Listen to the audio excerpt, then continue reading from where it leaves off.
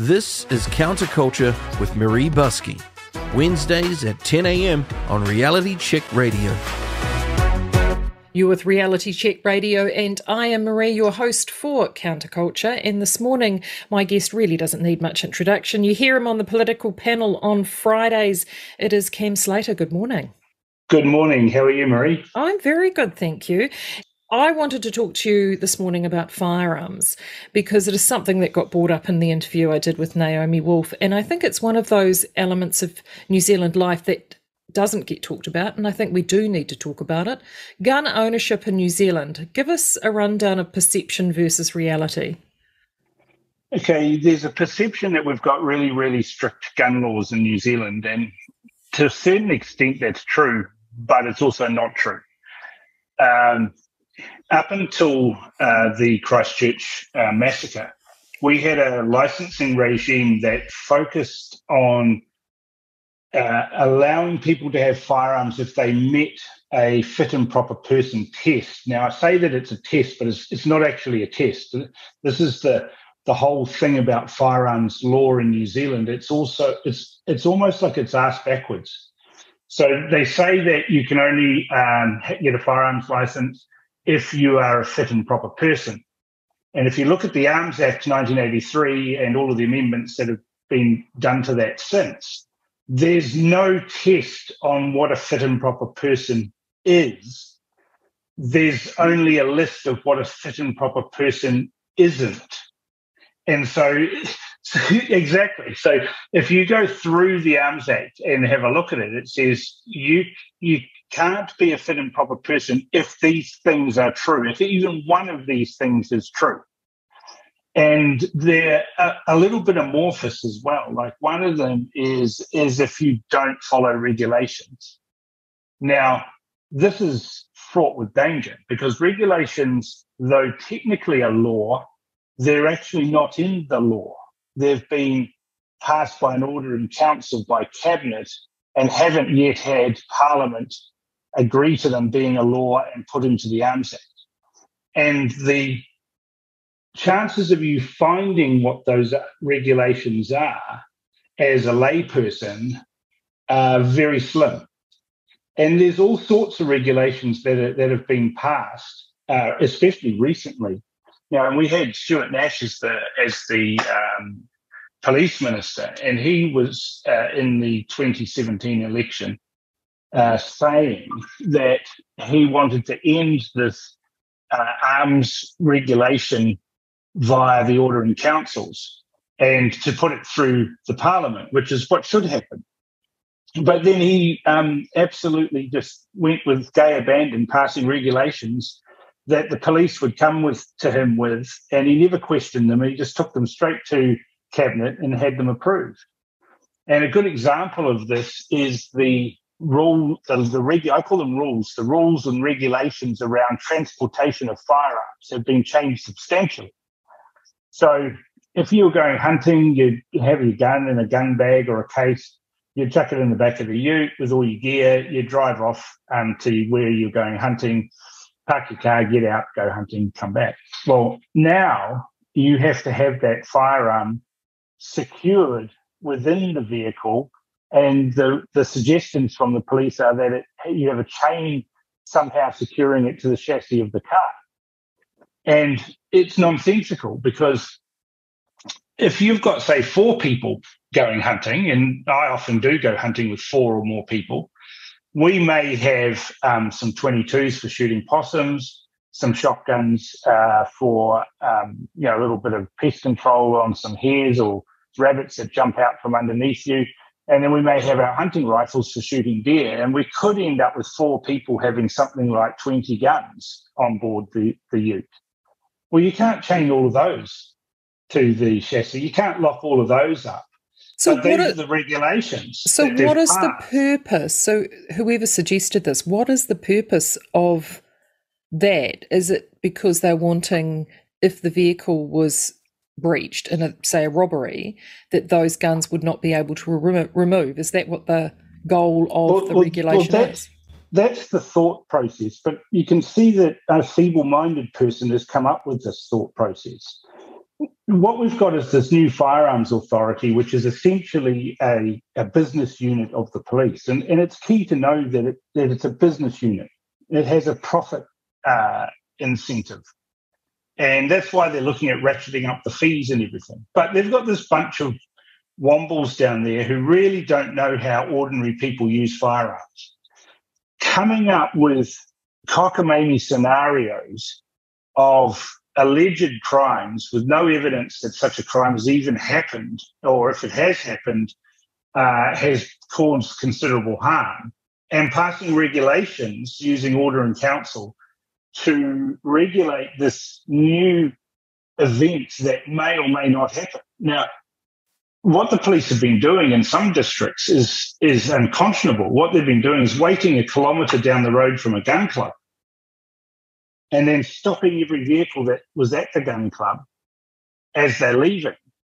And then saying to them, we'd like to inspect how you stored your firearms in the vehicle. And most people don't understand the law. And the law says that the police can't, that's not a, a proper reason for them to inspect inside your vehicle. And the regulation allows them to do this sort of, except the regulation doesn't trump the law. And the law says that they have to give you seven days notice of a time that's suitable to you as the firearms owner, not the police. So if they pull you up on the side of the road and say, Can we have a look at your firearms in the car? You're perfectly entitled under the law to say no. And there's nothing they can do about it. And so you've got these regulations that are in uh, are operating in contravention of the law, and the police uh, are essentially bullying people or relying on people's goodwill um, to comply with the regulation in the first place. Another example of that is uh, for collectors, for example, like myself. We can buy and sell pistols and machine guns and submachine guns and hand grenades and artillery pieces and all of that sort of stuff. And it's all permitted and it's all uh, you know, in order to buy um, such a thing, we have to go and this is the ludicrous thing. There's so much paperwork. You have to fill in an application for a permit to possess that weapon, right? So you've got to apply for the permit to possess. You fill out what it is you're buying, who you're buying it from, what their firearms license number is, all of those sorts of details, and you fill in yours. You then send that to the arms officer who then farts around. Now, I'm lucky I get them done within 24 hours because they're scared of me. But but what happens is you get mucked around, and then eventually they say, "Oh, it's okay. You can come and pick up your permit to possess." Right. So you then go to the police station to pick up the permit to possess, and it's got exactly the same details on it for you as you put in your application. All they've done is handwrite what you put into the application form transferred it into the permit to possess, but left the bottom part, the, the who you're buying it from, the seller's details, completely blank, even though you've already provided it to them in the application.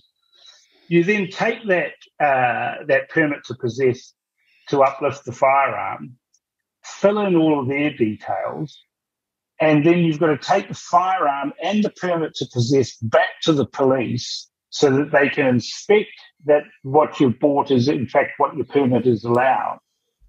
Then they take a copy, you take a copy, and you leave with the firearm. But it's different if you say buy something at a gun auction or at a gun show. There's usually police officers there who who won't even do the application for a permit to possess. They'll just uh, provide a permit to possess right there and then on the spot. Now, I had an inspection at my house, and the police accused me of disposing of a firearm illegally. And I'd sold that at a gun show, and a police officer was there who'd given the permit to possess to the new person and taken it off my license, except they never pro- processed the paperwork from that. And so still on my license. And technically, I was in breach of the law because I couldn't prov- um, present the firearm to them that I still owned it, even though I'd sold it.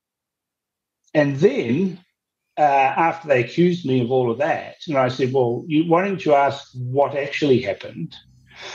And uh, instead of accusing me from the get go, and that's the problem is, is the police just a- a- accuse you. They treat all gun owners as potential criminals rather than uh, remembering that they had to approve us as a fit and proper person, bearing in mind that list of things that you you can't do. And if you, and one of those is break the law. So we are law-abiding people because if we weren't, we would be a fit and proper person. But the whole premise of their attack on us is that we're criminals, and so we need to have these regulations to do this. So this arms officer says to me, "Well, do you have a copy of the paperwork to prove that?" And I said to him, Yes, I do. And he said, Well, well, can I have a copy? And I said, No. He said, Well, why not? I said, Because I'm not required under the law to give you that piece of paper. I could voluntarily give it to help you out, but I don't see why I should help you out because you've just accused me of committing a crime. And so, therefore, it's not in my interest to help you out. It's in my interest to protect the information that will give me a good, solid defense. And if you knew the law and you're a police officer, you wouldn't have done that. So no, I'm not going to give you the paperwork. And this is the thing: if you know the law, then you're you're in a much better position than just accepting what the police say. And we've seen during the pandemic that police are willing to break the law. Ends justifies the means for them. So anybody out there who thinks that the police are on firearms owners' side is deluded. They are against you. They are the enemy. They're not there to help you, they're there to hinder you. And all these regulations that are being passed are being dreamed up by people who know nothing about how people actually use firearms. And they're creating a legal morass for themselves and for shooters that's not based in any law. And this is the real problem that we have you know, and and there's, there's no constitutional right to bear arms in New Zealand, right? So, um, no Second Amendment here. No Second Amendment here. But if you are a fit and proper person, you you can possess firearms, and under New Zealand law, you if you've got a firearm, uh, you have to have a lawful, proper, and sufficient purpose right? Those are the legal terms needed to use, discharge, or carry the firearm. Right? And self defense is not one of those a lawful, proper purpose and sufficient, uh, yeah, sufficient purpose. Self defense is not one of those. Um, what, what are what are some of those? Uh, well, if you want, if you're doing pest control, if you're going hunting, if you're going to the pistol club, if you're going to uh, target practice, those are lawful purposes for you to carry a firearm. That is, it's on your person and under your control, right? It, it doesn't mean transport. Transport's different, and that's why where the police get in trouble when they're stopping you, and the and the firearms in your car. You're not carrying it. It's not on your person, and so they have no legal basis to stop you to inspect how you stored something in your car. That then comes under a premise or a house or a vehicle and they have to give you seven days notice. So you can't possess a firearm in anticipation that you might even need to use it in self-defense, right? So, so if you say, oh, I'm, I'm going to get a firearms license because I need to defend my family, you won't get it, right? You have to have a lawful purpose to get that firearm. But the Crimes Act, the Crimes Act is slightly different and says that you're allowed to use reasonable force to defend yourself, right, against assault or entry into a dwelling house. But it needs to be proportionate to any force that's being used against you, right? So you have to make an assessment that the person trying to break into your house is going to give you do you harm, uh, is carrying a firearm, is prepared to use that firearm before you can even make the decision to go and get your firearm out of the safe and then use it to defend yourself. And even then, the police will probably charge you, put you through the hoops, and cost you ninety thousand dollars to defend it. Yeah. But some people have successfully defended themselves in that way. And, and Greg Carvell at um, SAI Guns is one of those people. But he was put through the wringer by the mm. police. You know, there was a guy who came into his shop armed with a, a machete or a large knife who was trying to harm the staff. And Greg shot him and but the police still charged him, but he got he got off. Right. Well, a few questions that I have is firstly, how many people in the last 12 months died in a firearms related incident? Do you know? I don't know the number, but it's a small number. Hmm. Like, you know, we're, we're passing, passing regulations for much less deaths than there are people dying on the roads. Which is, so that was the, the bow that I was going to draw because well, what, 300 odd people die on our roads every year in a motor vehicle accident of one form or another. The regulation in terms of exchanging ownership of a motor vehicle or of any sort is a fairly straightforward affair without all of the hoo ha, and yet gun ownership is applied with this level of convoluted complexity that benefits no one. Yeah, it used to be easy, it was straightforward. And then Christchurch happened, and then the police used that for an ideological reason to clamp down on gun owners because the police have imported a lot of English police into the police force. And in Great Britain, the gun laws are very restrictive. And they don't see a reason why we shouldn't do the same thing here, forgetting our upbringing, you know, that, you know, we were a frontier nation, really. You know, there was a need to hunt, there was a need to provide food, there's a need to do all of these sorts of things. And that's all been strictly controlled, you know, by the aristocracy in the UK for thousands of years. mm. so, but we we had to provide for ourselves and defend ourselves, and you know, we've had essentially civil wars uh, occur in the 1800s, uh, the land wars, etc. And firearms ownership was quite lax in up until about the 70s. You know, I, when I first started work, I started working at the National Bank, and I worked with a guy who was like 400 million years old. And um, he was telling me about how they used to go and collect the money from the Reserve Bank on a flatbed truck with big chests. Uh, and they were issued revolvers. And they would sit on the back of this truck on the chests with revolvers in their hands. To go, and some banks actually had revolvers in, in the bank you know, in, in, in my younger days, you know, there used to be a gun shop on Queen Street called Tisdall's. And you used to go, it was a good gun shop and a good gunsmiths there. And you used to walk down the street with a gun over your shoulder, down Queen Street with a gun over your shoulder to take it into the gun shop to have some work done on it. No one batted an eyelid. If you try and do that now, you'll have 57 police uh, in sort of SWAT gear trying to shoot you um, because you're carrying a firearm in public, even though you're actually allowed to do that. Yeah, look, I'm from a rural community and it was just normal. I mean, on the back of the ute, I mean, everyone had a sort of a cradle in the back of the truck yeah. where the shotgun sat, uh, and that's. So you're not allowed to do that now. You're not no. allowed to have them in a cradle on the back of the ute. You're not allowed to have them um, visible. They have to be locked and secured and all that. Now, you know, I know farmers who drive around in their ute or their motorbike. They've got a 22 handy. Mm. They see a rabbit, it's dead. Right? They just shoot it right there and then. And now, if it's locked up and it's and they have to stop and get it, well, the rabbit's gone. it's just nuts what these people, the, police are dreaming up. So, you know, the legislation in 1983, which I actually helped write, um, was quite good. It was focused around mental health. It was focused around licensing the person, not the firearm. The police had actually re- recommended that a re- uh, firearms register be abandoned except for restricted and prohibited firearms, and, and that's pistols and collectors' items and things like that. So we kind of have a gun register now, but as I explained earlier, it's got holes in it you know, things that are on my license that I don't have anymore that I legally sold and did with the proper paperwork, but the police lost the paperwork, but I'm the person who's at fault.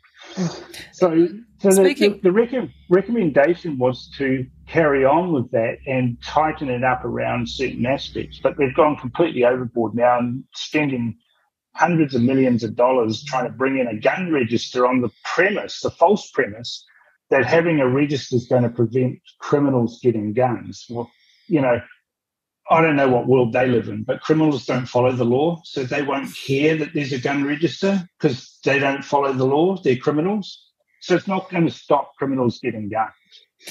So let's cycle back to the buyback So, I mean, all of this, Christchurch was the catalyst of all of this. Well, it wasn't a buyback because the government never had the guns to give to you that they could buy back, right? It was a confiscation yep. with compensation. Yep. And they had to do a confis- uh, uh, confiscation with compensation because the Arms Act actually said if you're going to confiscate somebody's firearms, you have to pay fair market value for it. So if they changed the law rapidly, they couldn't have done that. They had to pay money for it, you know.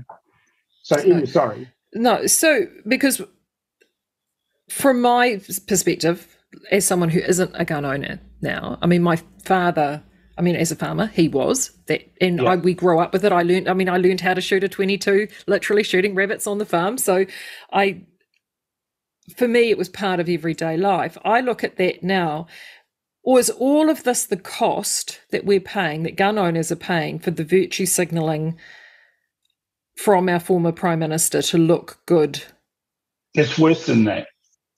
Yes, there's the virtue signalling, the you know um, hug an immigrant type you know behaviour that she exhibited, which was appalling in in the worst aspects. But the biggest gun grabbers ever in the world, in the history of the world, are communists and socialists. Right? They're the biggest gun grabbers because the last thing that they need uh, is to have people with firearms who can rise up and say, you know, we don't like what you're doing. Uh, and so they confiscate guns and take them away. Totalitarians, whether they're fascists, they're fascist socialists anyway. You know, they're, they're, they're the corporate version of socialism. But they they want the general public disarmed, vulnerable, and then the apparatus of the state can grind you down uh, with their application of force. So at the same time that the police were passing all these new regulations and rules and changing the Arms Act and doing all this in the, in the wake of uh, Christchurch, at the same time as they were doing that, they were buying up an armory of, of advanced weaponry uh, that includes uh, a replacements for their um, 223 or 5.56 millimeter uh, assault rifles which they banned everybody else from having, but they've got them. Uh, they then upgraded a, a, large number of those with 7.62 millimeter or 308, which is a much bigger caliber, makes leaves much bigger holes. Uh, they've got a whole lot of those, and they haven't told anybody that they've got those. They they let me know by mistake when they answered a Official Information Act request when I asked about magazines because the rifles that they bought all came with 20 round magazines. And I noticed in the wake of um, Christchurch, the police were all on the streets, but they had 30 and 40 round magazines. And I wondered where they got those from and why. And then asking the question about the magazines, they admitted to owning all of these other firearms with much bigger firepower. And then, of course, we saw in, in Wellington the use of baton rounds, grenade launchers, um, you know, these are military weapons that the police have obtained, kept it on the down low. It's only when there's something like that that we saw them come out. So when you say are, the police have obtained, are we yep. saying that they have been obtained? They've gone out and purchased those? Yes. Or because where did all the guns that they confiscated go? Well, that's a good question because I happen to know of some guns that were confiscated, paid out to the owner, and then were suddenly on the license of somebody else. And uh, there was supposedly a lot of them destroyed. But the, what I'm talking about, the police have got are new. They've bought those in, uh, including the Heckler so that didn't appear in the um, budget, then, did it? No. So they've bought grenade launchers that fire 40 millimeter grenades and a variety of ra- rounds that are available for those. Now we've seen them use the baton rounds, which is essentially a, a, a hard plastic, which will knock you over and leave, leave you with a bad bruise. And if it gets you in the face, it could cause permanent damage to your eyes or, or whatever, knock your teeth out, whatever. But the police have these weapons. These are military grade weapons. Their assault rifles are military grade weapons. But at the same time, they've been disarming people from having similar firepower. So you you you kind of look at it from a philosophical point of view or, or a political agenda point of view. The police are arming up while they're disarming citizens. That would normally cause a little bit of consternation. Why, you know, it used to be the police armed defenders squad were the only ones that were armed, and then they had Sako treble two rifles. Well, now they've got military weapons. They've got, uh, you know, they have Americanized the police. They've got ballistic armor. They've got ballistic helmets. They've got um, vehicles with bulletproof uh, doors and windows. So they're they're militarizing the police and raising their capability at the same time as taking guns off people. And that's a concern at the moment. But the more the government pursues a divisive agenda where they're se- separating society into groups, you know, we saw this with vaccinated, non vaccinated. Now we're seeing it with Maori and non Maori. Co governance, where 15% of the population get 50% of the say. These things create division in society and increase, especially when you apply racial divisions, increase the, the likelihood of seeing civil unrest and potentially civil war. Now, you mentioned the Second Amendment in the United States. And you have to understand that the Second Amendment uh, supports the First Amendment, right? So the right to free speech is the First Amendment of the US Constitution. And the Second Amendment, in order to protect the First Amendment, is that free persons have the right to bear arms, form militia, and protect themselves from the excesses of the government. Now, the US Constitution was written by a group of people immediately after the Revolutionary War, where they seceded from the United Kingdom and fought a war against the best army in the world. Right, this is the army uh, that then went on to defeat Napoleon right?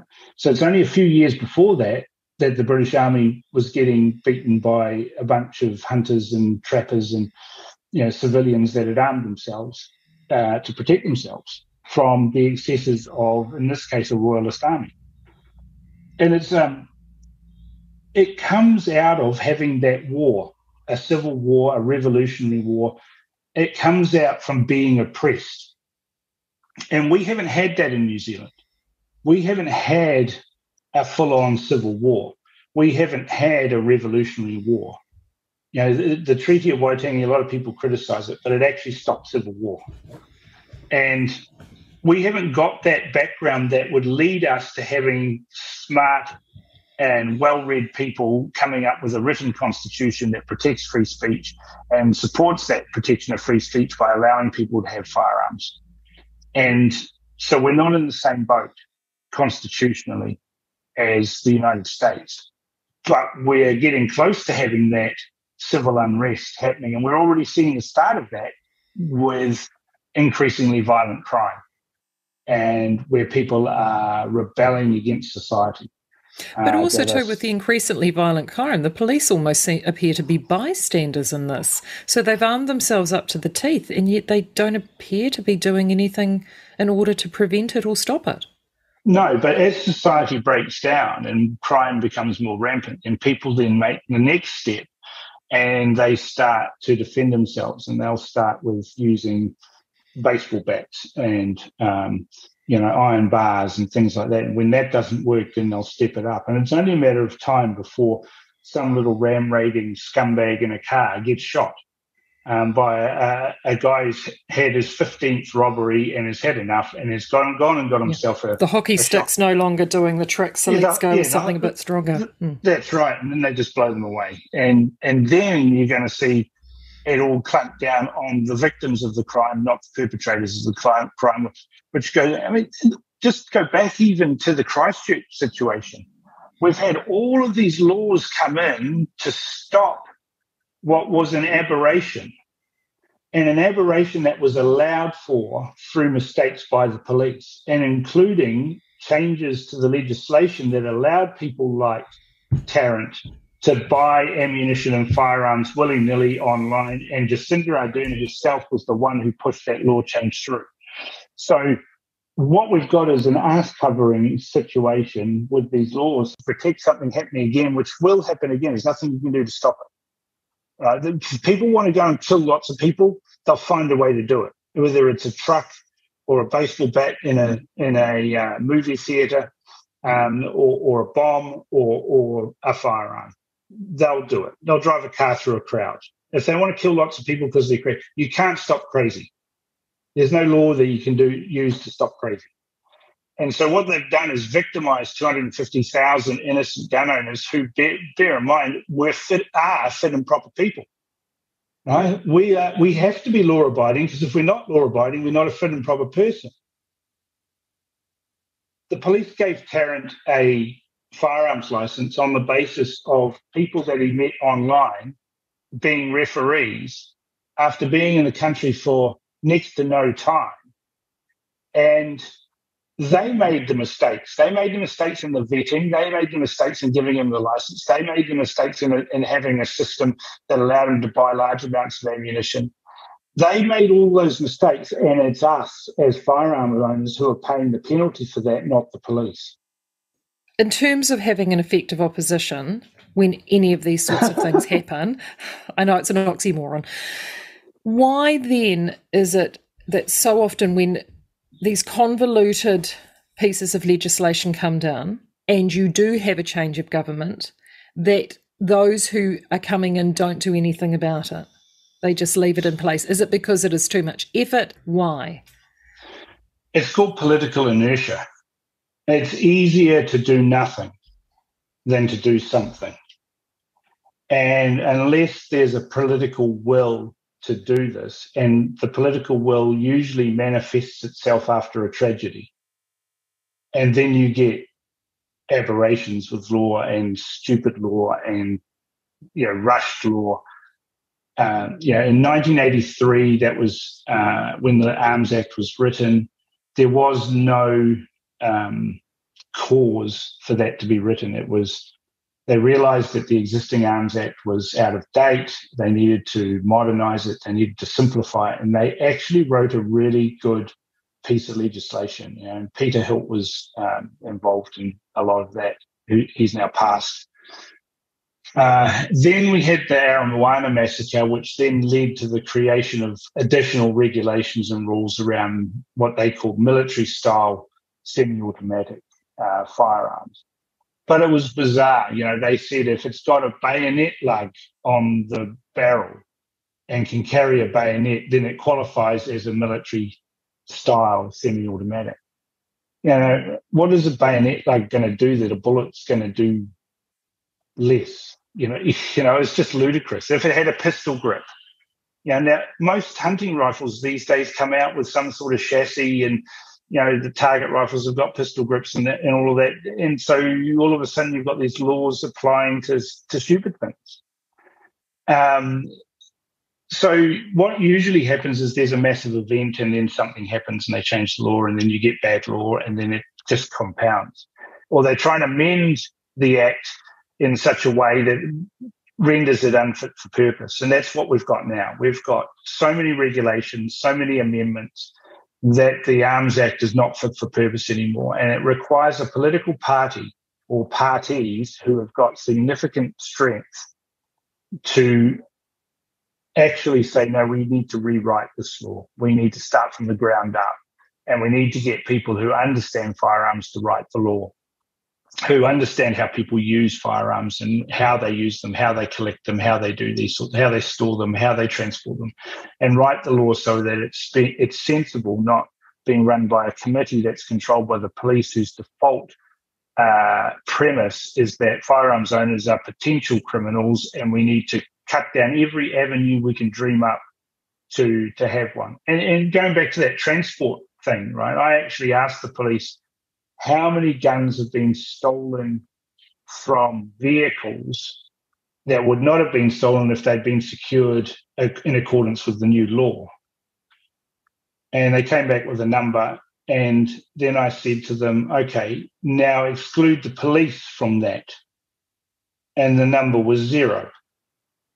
Right. So all of the guns that have been stolen from cars in the last 10 years and then subsequently used in crimes have been police weapons stolen from police cars. so they've passed a law to inconvenience the shotgun shooter who belongs to the local shotgun club on the basis that there's actually no crime that's ever been committed in amongst the general population. And then you asked about shootings. You know, it's a small number, but there's a significant amount of that small number are people who have been shot by the police. So if you exclude that, the number's even smaller.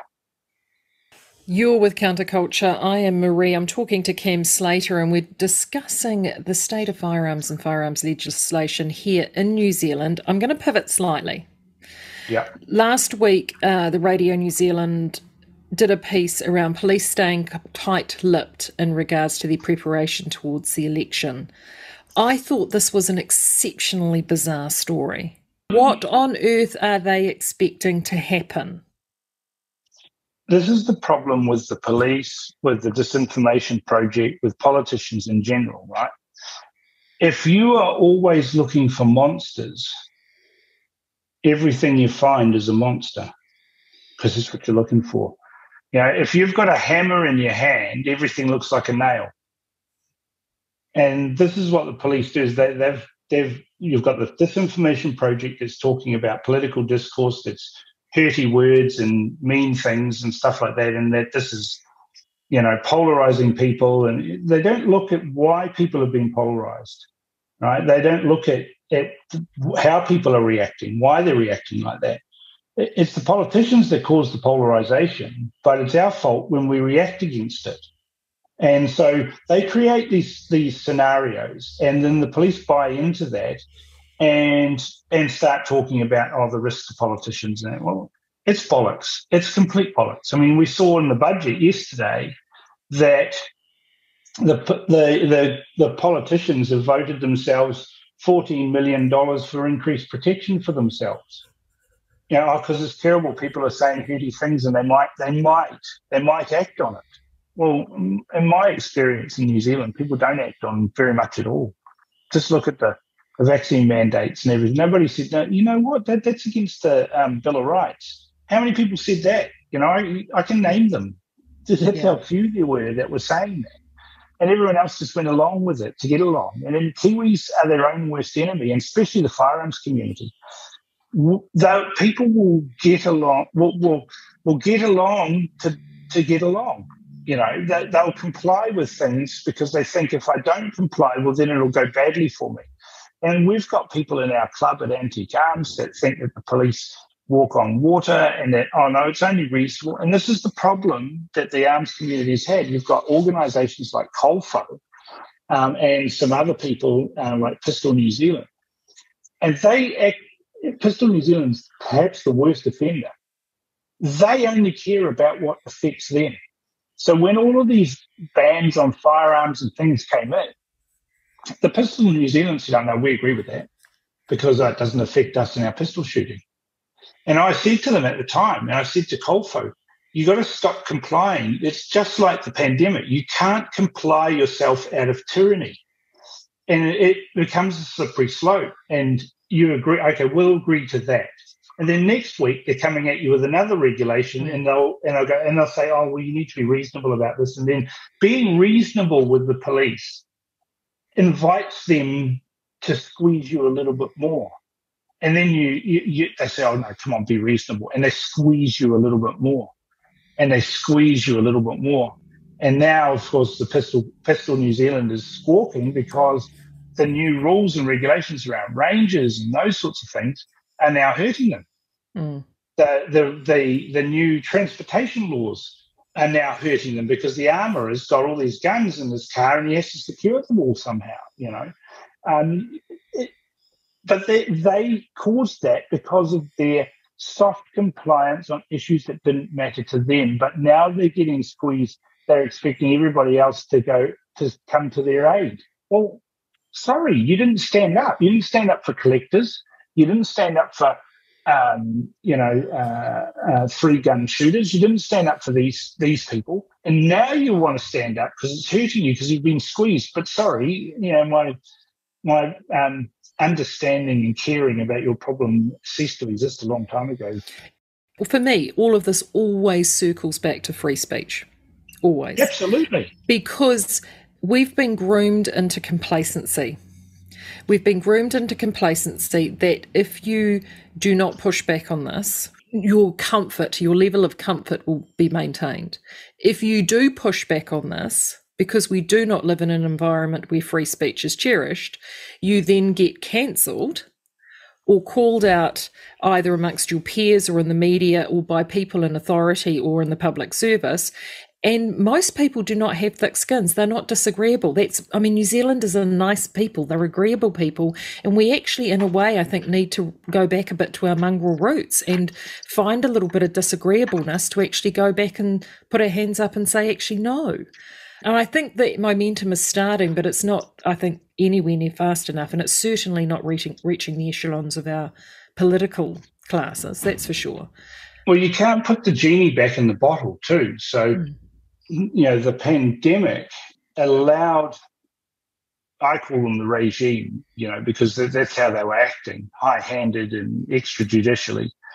Uh, they created a situation where people accepted excesses and breaches of the Bill of Rights. Now, no one in the United States accept, accepts breaches of the Bill of Rights. They sue straight away or they fight. Uh, New Zealanders have lost the fight. You know, we we used to be such a capable nation. Now we get a weather forecast that says there's going to be a bit of rain, and you've got this grief porn and weather porn being pushed on all the media and how it's terrible. We're going to have floods. People are going to die. We all need to stay at home. And it just turns into carnage. We've just become feeble and weak and pathetic.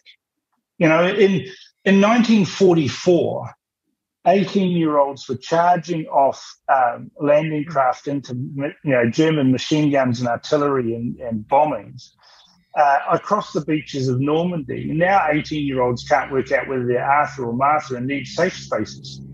You know, we've actually created a society where people like Charles Upham are not revered anymore, they're despised. Uh, and, uh, you know, the, the Barry Crumps of this world would never get anywhere because he's so politically incorrect. Right? Mm. But that is the ethos that we've come from, and somehow we've allowed society to de- degrade to such an extent that we've become weak and pathetic and, and victims. And the politicians, if you give them an inch, they'll take a hundred miles. And they saw that with a little bit of frowny faces, some clever messaging, that they could do awful things to society and we'd suck it up. Mm. Well, it's it, that's the cultural shift in terms of demonizing what that what Robin DiAngelo likes to call toxic masculinity. I mean, masculinity isn't toxic; it's masculinity that's gotten us to where we are, and that is. Right. It, yeah. And you just look at the leadership today. I mean, gosh, I so wish that Christopher, either Christopher, would find a little bit of disagreeable toxicity. That would be a, damn sight better than this sort of simpering. I don't, I don't know about you. Have you ever met a Christopher that's strong? The name's weak anyway, isn't it? You know, I think it just breeds it. Mm-hmm. But um, uh, you know, Jordan Peterson touches on that. You know, that he doesn't call it the toxic ma- masculinity. Um, he talks about dangerous men doing dangerous things. You know, uh, and and he says that a dangerous man is a good man, someone who has the ability to be dangerous to other people, use extreme violence, but chooses not to is a strong man. And we've emasculated society where strength is not a desirable trait that we see in our politicians. And instead, we've got wet, woke, and weak people who are trying to lead us. We've we've lacked that ability, that menace that exists uh, amongst strong men who are disciplined that if you cross this line, then it's going to hurt, has been bred out of society, you know, by by the weak and the feeble, the ones who are tough behind their keyboard and their screen, but you confront them in person and they're pathetic, weak human beings. And we're seeing this in society in many, many different things, you know, in relationships where, you know, the soy boy type um, in touch with their feelings, you know, soft bloke is held up as the sort of guy that women uh, are seeking. When the reality is, is women like strong men and they like to be protected and they like to feel safe. And no, you know, stringy vegan, um, you know, soy boy type pansy bloke is going to be able to protect somebody when things get tough. No, no, not at all. Have you caught up with any of the shenanigans that's going on in the deep south at the moment? No, which shenanigans are those? So, in the deep south, there's obviously the stuff that's going on in Gore, but a little further south in Southland, they have a the public swimming pool there called Splash Planet. There has been a group of locals that called a meeting with, I think, the chief operating officer and the head of the pool around concerns when they realised that the pool were going to now enforce rules that biological males could enter into female changing rooms. So they just needed to identify as female to be there. And the locals uh, came across this and were quite concerned. And so they called this meeting. Those at the meeting only expected to have four or five people turn up. Uh, meanwhile, several, several hundred turned up. Now, I've heard 45 minutes uh, audio of that meeting. And what I heard in there were a lot of very angry fathers. And it actually gave me some hope that there are some men and with these families and these fathers, these parents out there who are now starting to push back. And like we're all so busy, as you said, there's that complacency. And a lot of parents, we've actually usurped a lot of that parenting back to the state, to the schools. You send the kids off to school, get them back at three o'clock, and you assume that they have been taken care of. Whereas now there is actually a level of indoctrination that's going on at schools that most parents are only just discovering. So this meeting is it's still evolving down there, but they were going to take it to council. Nobby Clark, there's a name for a mayor for you. Nobby Clark, he has said that they're not going to bring it to in front of council this issue, and what they're hoping to do is to say that the family units or unisex changing rooms or toilets can be used as a compromise for people who are biologically one way but identify as another. So they're trying to put a band aid over it. For me, the hope was seeing a combined anger from a community actually standing up and saying, no, we're not comfortable with this now, but we need more of that across many issues, not just this one.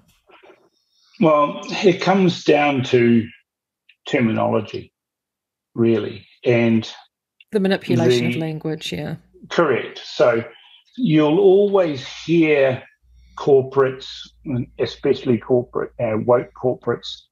Uh, you'll hear um, politicians, and they talk about um, protecting the trans community, right? So that's presuming that there is, in fact, a community of such people, right? It's a lie. There is no community. Now, I happen to know a couple of trans people, and they've been trans people before it was a thing, right? So they're brave people. They've decided to live like that, and that's all good. One's a you know, property investor, and but anyway, they tell, tell me there's no such thing as a trans community. It's not a community. They don't all live together. They don't all um, socialize together. They're just ordinary people just getting on with their lives, and that's how they want to live. But there's this agenda, this woke culture agenda that has seeped into society uh, through woke corporates. And, you know, I'll probably get attacked for this, but um, my experience is that if there are key women in key positions in organizations, particularly in human resources, particularly in senior management, then that company starts to degrade uh, because they start embracing this kindness and woke and they forget about profit and and looking after their customers and then they start pushing these agendas to be inclusive, which is ironic because it's actually exclusive. It's, like the meme the other day about rugby uh, in Australia have decided to embrace you know, the voice there and that it's all about inclusiveness and all of this. And somebody posted a picture of Israel Folau and said, what about including him? right. So all of this inclusiveness that they talk about is actually exclusiveness. It's, it's, it, if you don't fit in with this, then you should be excluded. Mm. It, it's a lie, and the, the, it's a fantasy that there's a community, and it's also if you just look at the math, right? around about 5% of the population, give or take a couple of percent, hmm. uh, and are not heterosexual. That's the easiest way to say that. Right? So they're not heterosexual, they're something else. And trans people are a tiny percentage of that 5%. And we're talking hundreds of people, certainly not thousands of people. And we've got this massive vocal, violent push to promote their wacky ideology onto the vast majority of people and there's going to be pushback and it's, it's starting and and mm. It's not going to be pleasant and then they'll shriek a lot, whole lot more and there'll be handbags at dawn um, but this is the fantasy of all of this you know uh, creation of separate little communities that actually don't exist. Well, it's the uh, devolution uh, of individualism because they don't well, want to right. create strong individuals. They want to pop everybody into their little box. And woe betide if you're a Rachel Stewart of the world and yeah. you get out of, you know, we've popped you in the rainbow box, darling, with the with the ever growing alphabet. That's the box that we've put you in. And she's like, No, I'm just who I am. I just happen to prefer one of my gay friends calls it 95% of the world are heterosexual, the rest of us are interesting. so, but, but, you know, that's the thing. Like, they, they want us to care about who they are, but they don't care about who we are. You know, this whole thing about pronouns is a classic example, right? That is control of language. What these people are saying to us is that they want to control how we speak about them in the third person when they're not there right? Because when we're speaking to them to face to face, we say, "Oh, okay, Maree," right? Or, or if you're only using pronouns when you're talking about someone in the third person, or oh, he said that, or they did that, or, or whatever. And they're trying to control the language about how we speak about someone when they're not there. Hmm. It's bizarre. I mean, I'm sorry, a plural it's cannot nuts. be a pronoun. No, yeah, if you want to, you know, what if I decided I want to call myself killer whale instead of Cam? You know, that's the pronoun. I, it's just actually here's a better one. What what if my pronoun's handsome? Now I'm not handsome, right? But but I now insist that everybody describes me as handsome because that's my pronoun. That's the ludicrousness of it all, right? That they're trying to control the language about how everybody else speaks. And Maori are doing this too with the insidious creep of you know pidgin Maori into into our language on television and radio, where you get a situation where if the whole idea about language is that information is imparted, and they're making it exclusive, so you don't actually know what the hell anyone's talking about anymore. So I uh, spoke to Dailandi last week, and she is uh, one of the founders of a group called Mana Wahine Kōrero, and she. Mm was talking about exactly that. I mean, it's not only the English language that has been captured and bastardized, it is also the Māori language. As she said, English alliterations that have been turned into to Māori. And she said, no one, she said, none of the nannies on the marae understand this. They're just like, what is this? You know, this, this isn't, this isn't our language. Now, those who are at university, those, all those academics that, you know, have laundered themselves with multiple papers that claim that they're the greatest sliced bread. You they mean a uh, colonial invention called universities? that, you mean that? Yeah, that. they will argue that no, the language is a living thing and it needs to evolve. Ultimately, language is there to communicate. And if you are actually going to devolve a language to a point where the native speakers of that language can't even understand it themselves because these words were invented yesterday, well, then that's not inclusive, is it? But what cracks me up is this massive insistence that we all use macrons. right, for, for how we spell things now. Well, you know, at the same time, the people who are insisting that we do that are railing against colonialism. Well, how colonial is it to use a Greek creation from several thousand years ago to describe how we speak Maori in modern society? Is that not colonialist to use uh, European language constructs to describe Maori now? Yeah, this, this is the nonsensical logic that these people are employing.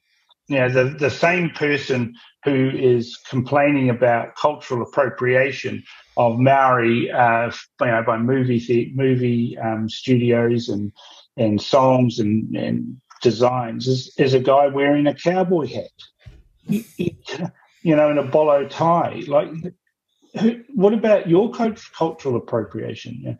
you look back in the years, you know, when Monty Python, you know, 40 years ago was in the life of Brian, they were talking about, you know, Loretta. Um, Loretta, you know. Yeah, oh no, I want to be called Loretta now. Why? Well, why can't I? You know, it was it was ludicrous then, and it's ludicrous now. Mm. And then the same thing goes on this colonialism thing. The famous skit with this. Well, what have the Romans ever done for us? Well, there's the aqueducts. Mm. Well, okay, apart from the aqueducts, what have the Romans ever done for us? Well, there's the roads. Well, okay, but it's the same thing, this colonialism argument is what have the British ever done for us? Well, there's the laws, the hospitals, the society, the, the, you know, all of these sorts of things. They want to use all of those things, but they want to rail against colonialism. It, it's, it doesn't make sense. It's nuts. And the more we tolerate it, the more we accept it, the more farcical it becomes. It certainly does. And I think, I mean, we could talk about this all morning, but we're not going to. I will pick it up on another day. Like, Cam, I'm absolutely thrilled that you've been able to give us some time this morning. Thank you very, very much. If you've got questions out there for us or me at Counterculture, the address to write your email to is inbox at realitycheck.radio. That's inbox at realitycheck.radio. Or send us a text. 2057 is the number. Stay tuned. More to come here with Reality Check and Counterculture. This is Counterculture with Maree Buscke. Wednesdays at 10 a.m. on Reality Check Radio.